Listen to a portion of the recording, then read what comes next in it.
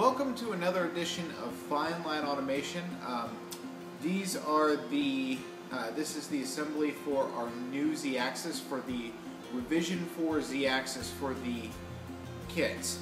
So um, if you got a kit after Thanksgiving of 2011, uh, use this assembly video. Uh, if not, please refer to the previous assembly video for how to assemble your Z-axis.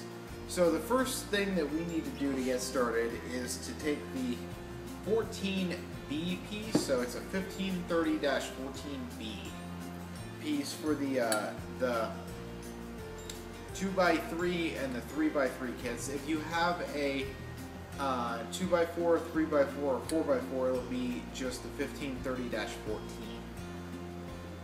You're going to need a motor mount, and you're going to need two 5 16 dash 3 quarter inch socket head cap screws.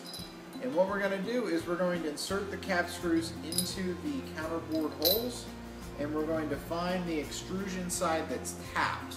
So uh, there will be two holes on one side that are tapped and we're just going to insert this motor mount in here and uh, we're going to get it, uh, we're going to tighten these down finger tight. Be sure to use Loctite when you're tightening these nuts down. And we're just going to finish tightening them here with a quarter inch socket.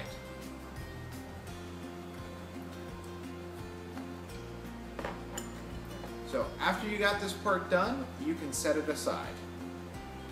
Step that we need to do is to assemble the bearing block assembly. So you should have a bearing block and what you're going to need is you're going to need the bearing block and a cover for the bearing block so um, it should be they should have come together and what you're going to do is you're going to put the cover over the bearing side and the little in uh, the little pocket in the cover is going to be facing down towards the bearing. Next, you're going to take two quarter 20 by 5 8 inch socket head cap screws and you're going to use them to secure the cover. Again, Loctite is preferred here. After you get them finger tight, we're just going to use a 3 8 inch Allen wrench to tighten them down.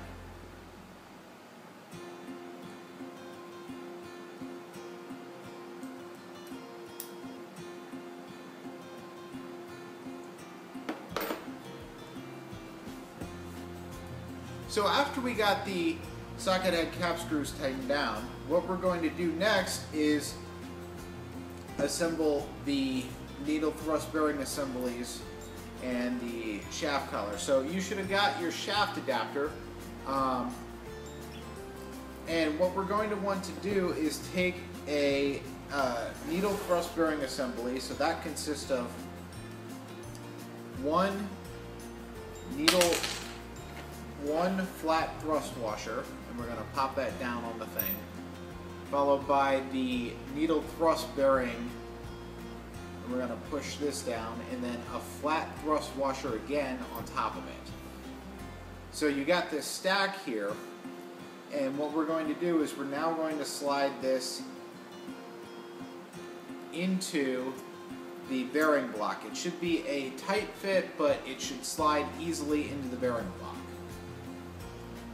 Notice how the coupler and the bearing block sandwich the thrust assembly between them.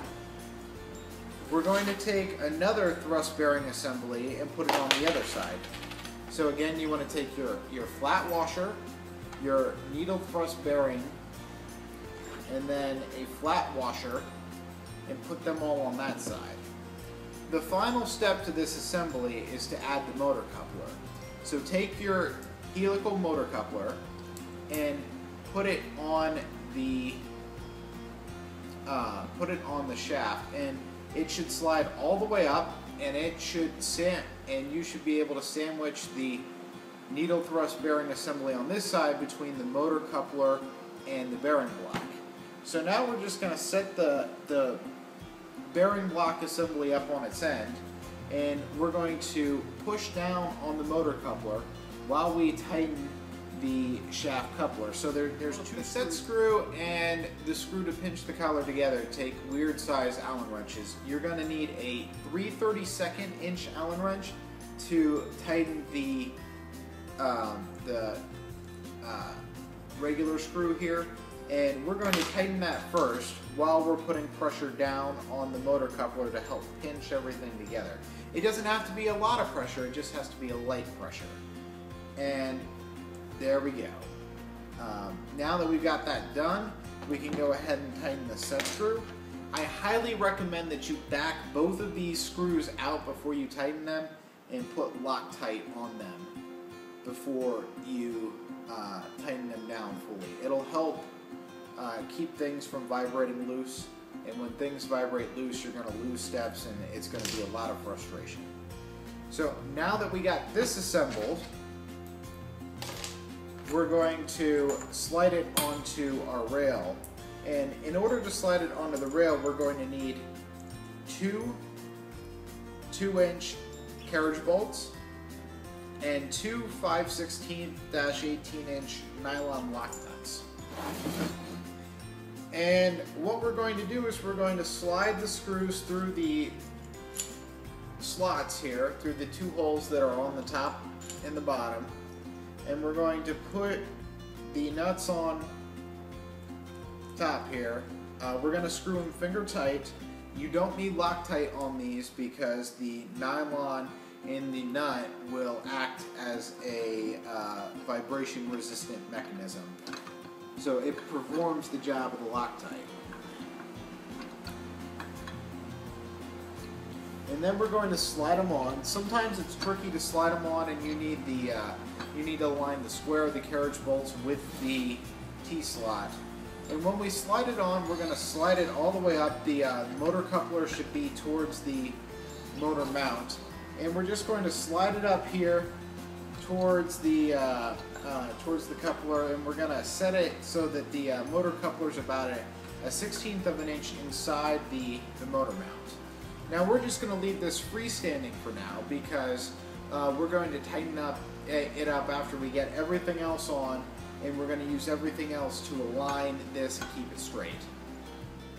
The next step in the process is to attach the z-axis rail to the extrusion. So what we're going to need is the 4 by 10 inch z-axis rail that you have and we're going to need six 3 quarter inch carriage bolts and six 5 8 5 16 stash 18 inch lock nuts.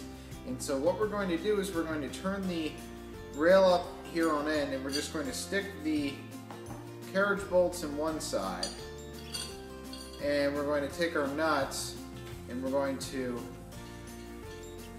tighten them. And we're going to do this for all six bolts. So uh, you can pause the video here while we assemble. You don't need uh, Loctite for these or anything. Just uh, just finger tight